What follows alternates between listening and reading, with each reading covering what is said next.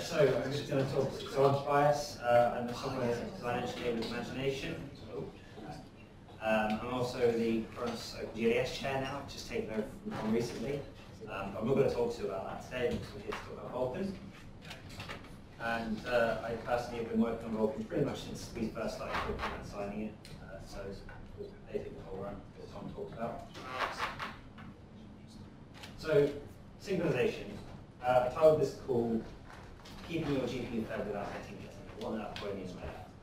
So, if you've got an application and you want to render something to the screen, then you've likely got a bunch of draw calls.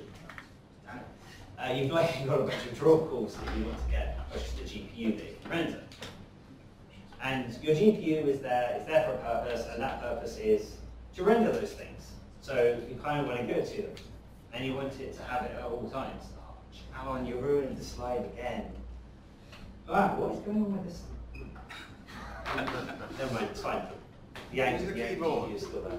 Um, and ideally you want to keep it as fed as often as possible. You don't want the GPU to be sat waiting around whilst you're sort of still defining what your commands are. You want your commands to be defined as soon as you know what they are, and you want your GPU to take that and work immediately. But you've got to be careful. Uh, if you do it wrong, you mess up, it will commit you. Uh, right, so specifically what I mean by keeping it fed. Um, like I said, you don't want to wait around for you to define operations. Uh, if you've got some CPU work to do, you ideally want your GPU to do something while that's happening.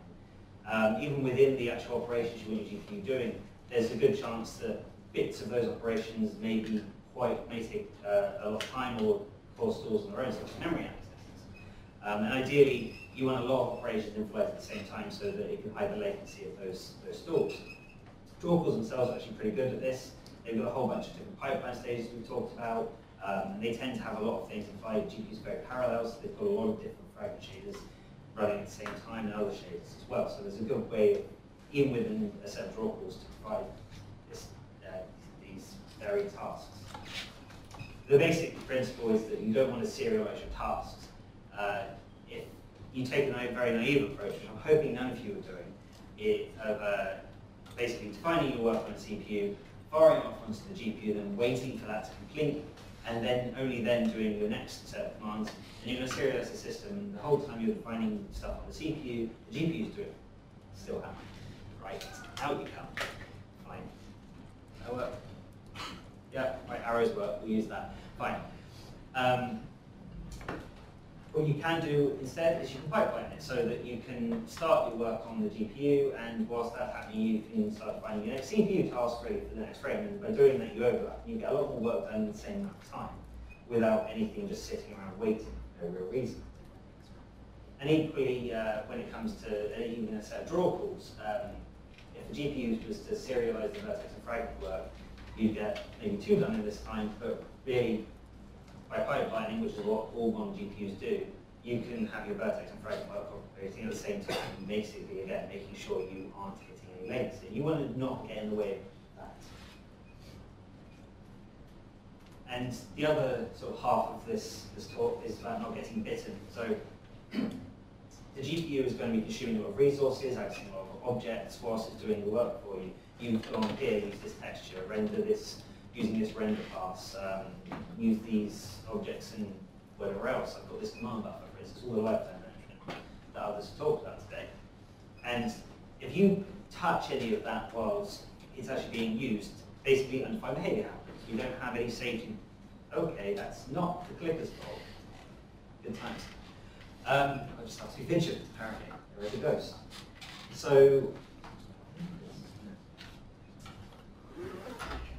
sorry about this. Uh, yes, so you don't want to be deleting anything um, whilst being used because then the GPU may see just data that's not there anymore. And if you update the contents of a texture, you may get the GPU reading it halfway through your update, for instance. Um, so that can look like any number of things. Um, you're lucky, I say lucky, it's not really, uh, nothing will be wrong, and you've screwed up, and it's all fine. A little less lucky, you might get some tearing in your images, say like you've updated an image at the same time in two places, and you're reading from another place, and you get tearing. You may get image corruption. Uh, that's kind of bad. What? I'm really not touching this. What is going on? Stop it. Voice actually.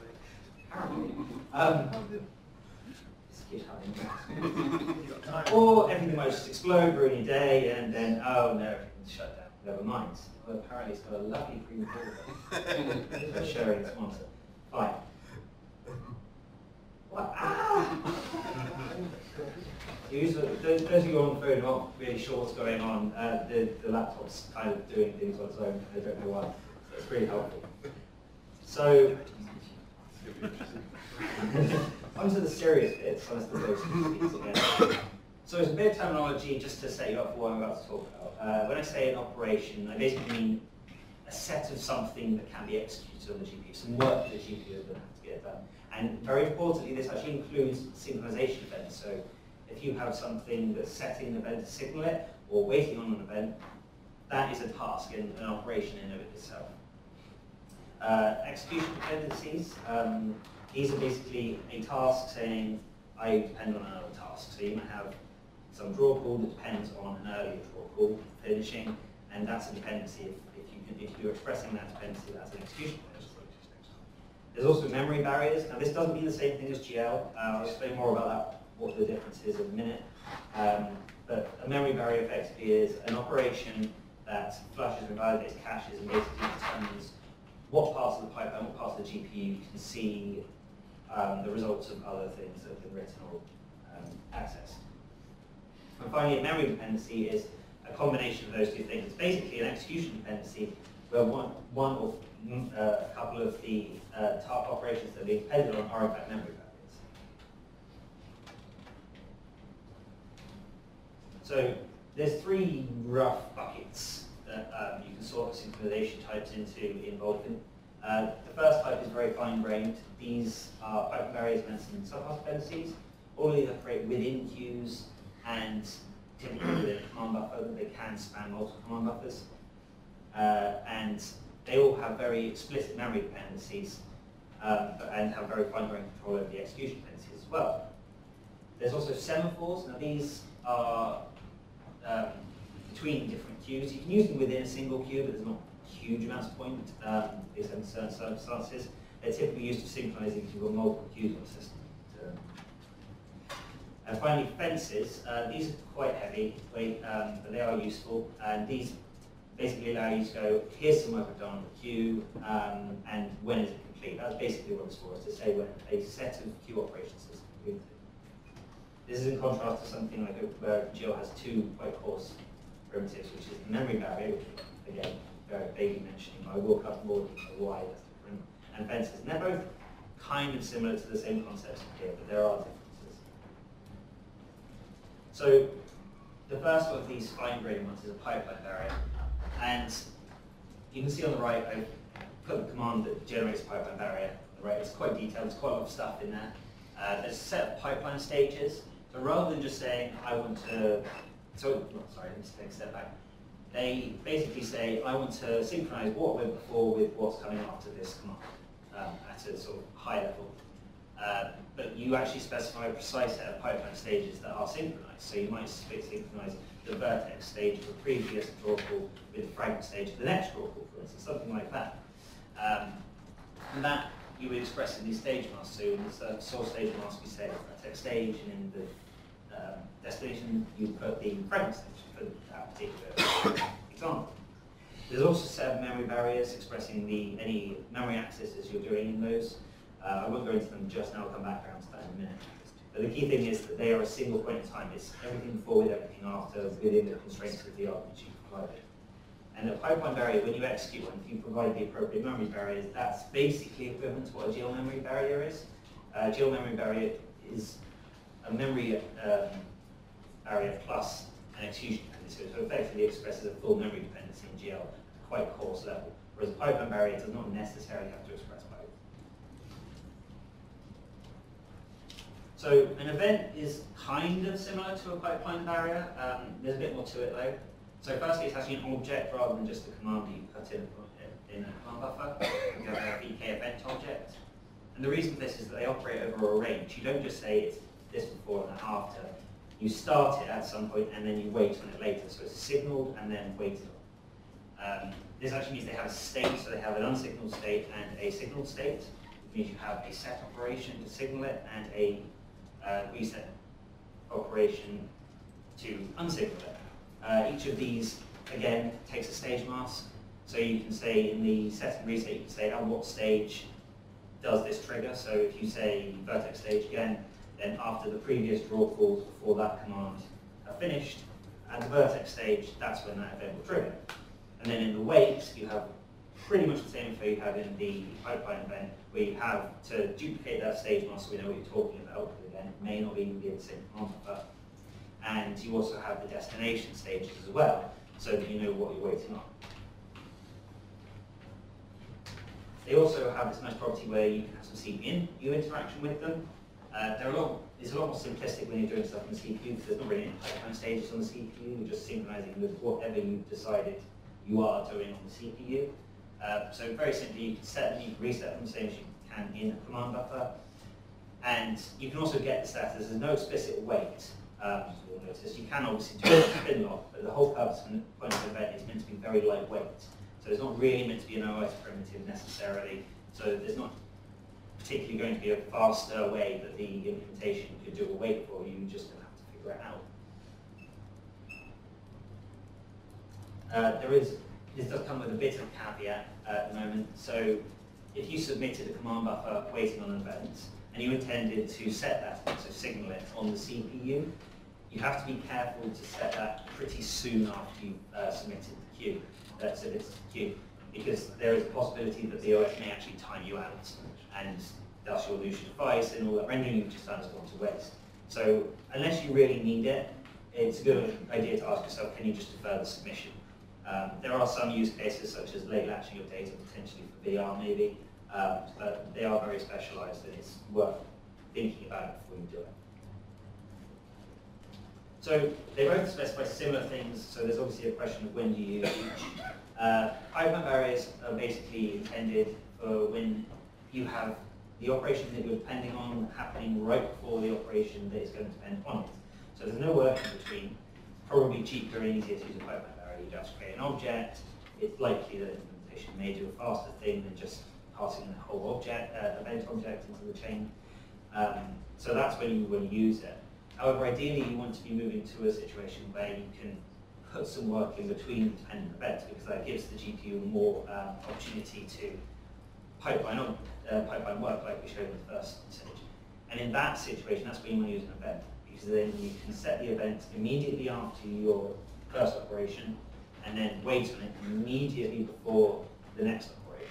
And then in between, any work that you do will be pipelined alongside it. It's not dependent. That's the idea. So before I get onto subpass dependencies, I'll circle back to memory barriers. So there's three different types of memory barrier in Vulkan, and it's a little bit of a balancing act which ones you use, although there are specific uses for all of them. So the first one is the global memory barrier. This one's red. No? Ah, skipping again. First one is the global memory barrier. Um, so this sort of sets you up for the rest of them as well. This is the most simple kind of barrier you can do. It basically just says what stage is accessing what memory and when is it, where is it flushing to, so I'm going to be able to view the results of that in another stage. And you'll notice that there are stage masks here again, and maybe you're asking, wait, hang on, these are going with the events, why am I specifying the stages again? Uh, the reason for that, well, firstly, they do, they do match up somewhat. Um, again, I mentioned before that you don't have to specify an execution dependency and a memory dependency at the same time. You can do them separately, which is why you have part of the explanation. Uh, it's also possible that you may want to have an execution dependency and not have a memory dependency for a particular stage. So it's specified twice, and there is some difference in how those masks are specified as well. The main use case for the global memory barrier is got a lot of resources, and they're just doing very simple transitioning, like you're taking your uniform buffers from a previous frame and transitioning them to be uh, written on the host.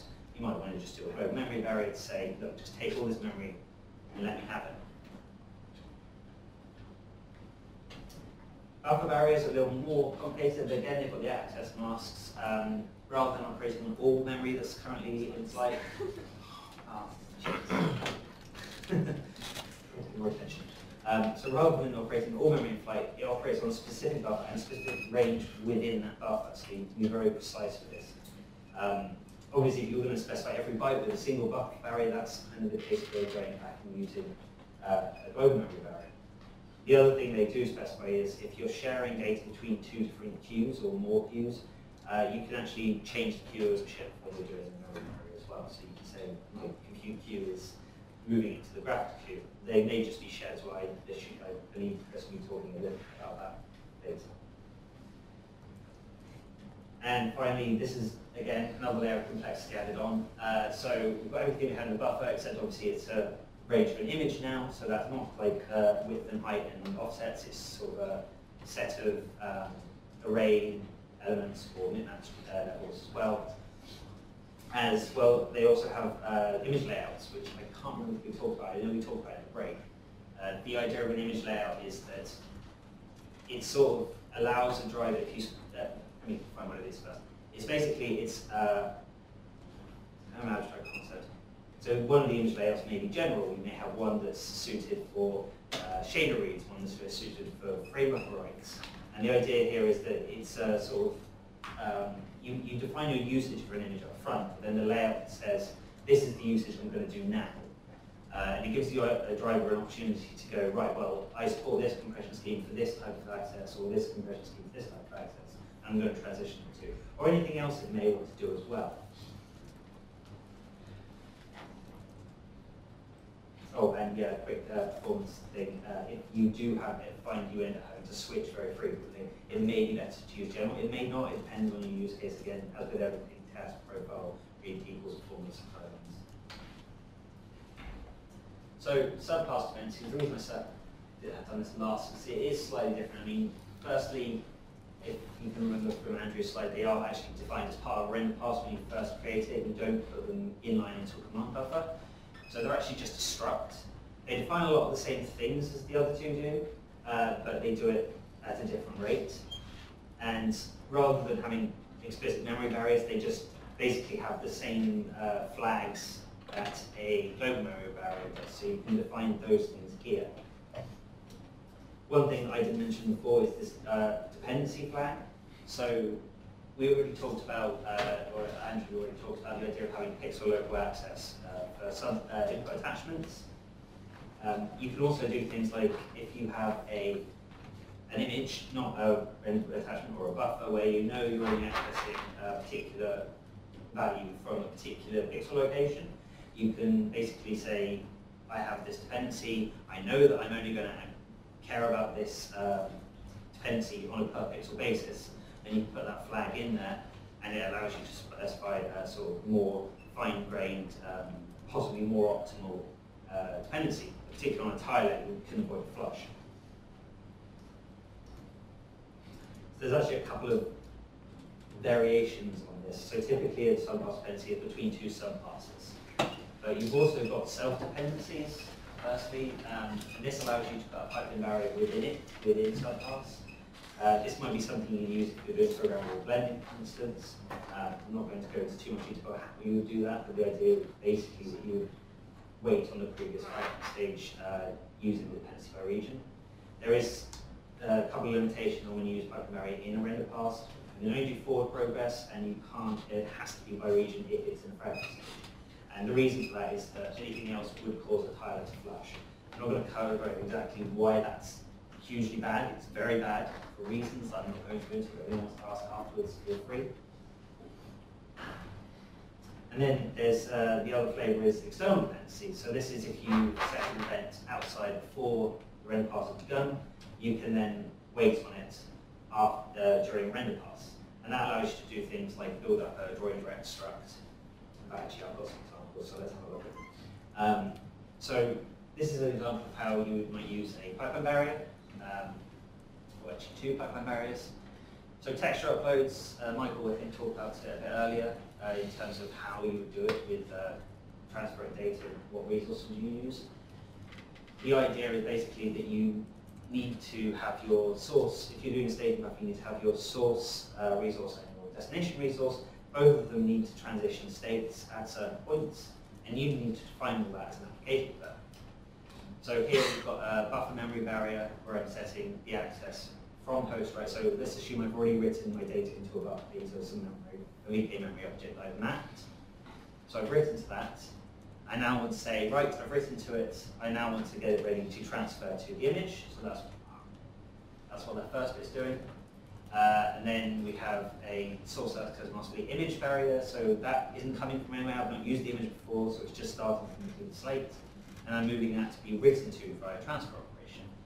And similarly, I've got no previous layout. It's completely undefined, but I'm trans uh, changing it into a layout where I'm going to be doing uh, transfers to it. So that's what that is. Uh, then the stage is in the actual pipeline barrier, when we get to it, uh, I'm saying I've got the host bit, which says I did something CPU, so that was my CPU writes that I've already done to that memory, and then I'm writing it out uh, via a transfer operation in the next bit, and then finally do the transfer. And then the bottom is basically just reversing uh, the transfer, so uh, coming out of the transfer and then moving to shape readability, so that you can actually use that uh, in Shader. And then an example of subpass dependencies. So this uh, is actually going to, I'm just going to cover the external ones because they're probably the most interesting thing. Um, so firstly, the source and subpass usually set to a number that is an index of the subpass from the render pass. For external dependency, you use this special value vk subpass external, is minus one. That's my payout there. And so the example uh, yeah, so the example here is uh, using a compute shader to basically do something with the geometry and figure out exactly what you're going to drawing, some sort of culling algorithm potentially. And then updating your draw indirect structures that you're going to be doing for your draw calls. So the idea here is that you've got your source stage is going to be uh, compute shader, and then your destination stage is going to be your direct stage. So Draw indirect stage is interesting. Um, it's not just like uh, actual shader stages in the pipeline stages, it's also all the weird fixed function bits that happen in between, uh, including the draw indirect read, that, that counts as the pipeline stage. And then the access masks, again, setting them to the appropriate things. So I'm writing from shader, and then I'm going to read it as uh, indirect command. So that's what that there. After we've set that up, uh, in the subpass, then you can do your dispatch. You can set the event again with the same uh, source stage as the subpass, so they have to match. Uh, and then you can transition it uh, after you've started the render pass. You can do a wait event by using this external dependency again with the same source stage and uh, well, yeah, the access masks and the uh, pipeline stages match exactly the external dependency ones. And then after that, then you can use that to draw your graph first. A draw. So I'm actually going quite well. Last time I ran out of time, I did this in 12 minutes. So this is so much. Um, I'm running out of time. So, semaphores. Uh, so again, I said these are used to synchronize queues, so a lot more coarse-grained than what I talked about previously. Uh, they queue submit operation actually takes a number of different submissions at once. And each of those submissions can have a set of semaphores associated with it, both for waiting and to be signaled. Uh, there's also some implicit memory guarantees when you do this. There's no memory barrier associated with the semaphore, uh, but what it does say is that once a semaphore has signaled, uh, any effect, any memory that has been accessed by the things that are in that execution dependency are visible to future accesses on the same device. That's a bit of a mouthful but they're not guaranteed to be visible to the host. So a quick, very quick example of what this might be used for. Uh, the main thing you might be using for it right now is uh, for uh, WSI, for the Windows system stuff, uh, particularly around the acquire. Yes, yeah. yeah. So when you do an acquire image, this will make more sense in the context of our example, uh, talk later. Uh, when you acquire an image from a swap chain, you will get a semaphore that will trigger when it's done. Uh, and then when you submit your command buffer, you're going to be drawing to that image. So you sort of need to know when you've actually been given it. You've got ownership there. Uh, so you can pass that in and wait for it in the graphics submission. Uh, then you can wait, again, for another semaphore to wait on that graphics task to complete. And then when it's complete, you then want to present it back to the presentation engine. And to do that, you wait on that in the queue present that's relatively straightforward, as some of the other stuff I've talked about. It's actually even simpler if you have, like on Android, uh, the um, presentation and graphics queue in the same queue. uh, in that case, you only need the acquire semaphore for the, uh, for the acquire next image because uh, there's some implicit guarantees between operators on the same queue. And finally, fences. Uh, so these are used to synchronize queues CPU. Uh, they're really, really cost-effective, more so than the uh, submit info, the semaphores. They actually are per command rather than per submit. Um, they, again, have the same sort of implicit guarantees as semaphores, so once they're done, they have the same, uh, same exact uh, things, again, not guaranteed to be visible to the host. Uh, fences are quite similar to this, although they also incorporate some semaphore functionality because you can wait from the GPU. Um, they're very vaguely similar to this otherwise. Yeah, quick, quick, quick time to rush through this. Uh, so one, the main, pretty much the main reason you would use these is to deal with multi-buffering. So if you've got multiple frames in flight and you've got dynamic data, you typically want to have multiple copies of resources in flight to be able to update it without serializing the GPU and CPU. Uh, so by having a number, uh, the number I picked here is actually the same number of uh, images I've got on my swap chain. That's typically what I'm paying for because you usually want those values to match. And very conveniently, the acquire function actually gives you the index of the image you're about to use, and you can use that index to index into other resources as well, and it all just sort of works, which is quite nice. So what you might do is acquire an image, have a, use that index, then wait, wait for the fence for that image, uh, sorry, wait for the, that particular index fence, so you're waiting for that previous time that frame executed effectively, uh, and then reset that fence so that you're ready to use it again. And you may change the data. Now that you know that fence is triggered, you can then change the data and the resources that are associated with that frame, because you know that frame is be executed. And then you can submit that stuff again with those resources and with that fence so that it gets triggered again. So again, you know when it's done. And last but not least, wait idle. This is really, really heavy weight. If anyone uses in the rendering loop, you're doing that thing I said that was about to start serializing everything. So there's two flavors of this. There's queue wait idle, which waits for all queue operations, like queue submit, queue present to finish. Uh, sort of equivalent waiting on a fence for those queues. And then there's device wait idle. You'll notice that the prototypes are broken, just ignore that.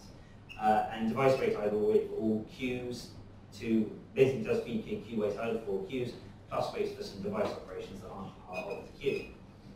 Uh, these are kind of quite similar to glFinish, so they should use sparingly. Uh, the, the main reason these are here, and the, probably the only reason you should be using it, is for teardown. Uh, basically, when you finish a wrap and you're done with everything, you want to take, destroy everything, and then use device wait idle and just go, right, I know everything's done, it's safe, I can delete it, I'm done. Uh, every other time, please use other synchronization methods, because this is otherwise very bad. Um, really, really use over time, but not much. So this is hard. You've got to specify exactly the right amount of synchronization. If you do too much, you may end up zeroing something you didn't intend to. If you miss anything, then you're going to hit data race conditions and bad stuff happens, potentially. Uh, the validation layers can help. I don't think they have too much in the way of synchronization help at the moment, though they're, they're, they, they are making progress. Uh, in particular, I'd suggest you pay attention to the pipeline stages, particularly for tilers. You want to make sure that you're not waiting on fragment stages if you don't have to. If you wait on the vertex stage, you get some nice overlap.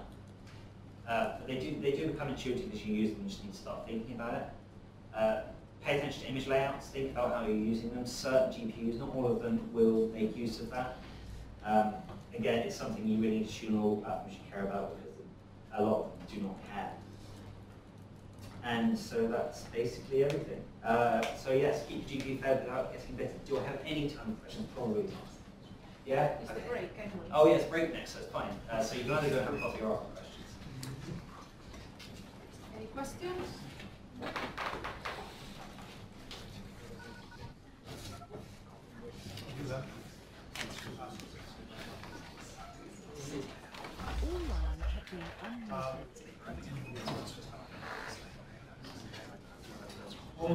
Uh, handle resource transitions? As in, uh, you described the synchronization as all of them are blocking. What I'm interested is uh, on a GPU, when I'm doing using the DMA engine to copy resources to the GPU memory, why still using the graphics, graphics context? Is there any way to wait for a resource transition without blocking? Uh, well, Sorry, the, the, yeah, for yeah, the, the, the transfer, transfer operations can actually dump done a, uh, asynchronously to the compute. I mean, the whole purpose of this explicit synchronization is that you don't wait on stuff that you don't have to. So basically, the idea would be for that example, if it's on the same computer, for instance, what you would do is you would put in a wait of, a wait a set event just after you specify the command, and you wait for it, you wait for it. And there's no guarantee involved in when that will happen in order compared to the rest of the commands. All that you will be guaranteed is that when you get to that wait, after that wait has passed, you will have the result. So any uh, GPU that's capable of doing that asynchronously and everything else will be able to do so. I typically, uh, in this, in this scenar- scenario, there's a waiting for resource transition for multiple frames. So just streaming resources. I'm only using a subset the frame for transfer. Could you put the mic on your mouth? Yeah. I'm sorry. So, right, so, uh, then, of course, Uh, uh, The reason I'm doing this is streaming resources in a large amount of resources into GPU memory. right. So you went streaming it from the CPU or? Yes, Right. and pretty much what I'm doing is transition large number of clock drives. And uh, don't wait until they really just activate and start using them. The way it's handled it in normal OpenGL4 is do separate, two separate contexts.